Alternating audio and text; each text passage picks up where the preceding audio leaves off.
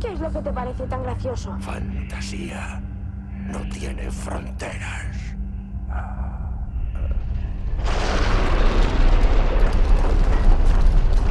Eso no es cierto. Mientes. Pequeño necio. ¿Qué sabes tú del país de fantasía? Es el mundo de la fantasía humana. Cada parte de su reino, cada criatura suya, no es más que un trozo de los sueños y esperanzas de la humanidad. Por lo tanto, no tiene fronteras.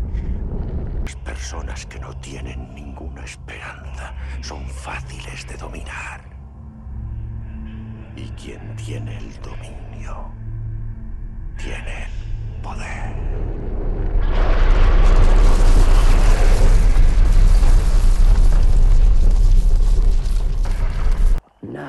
tiene importancia.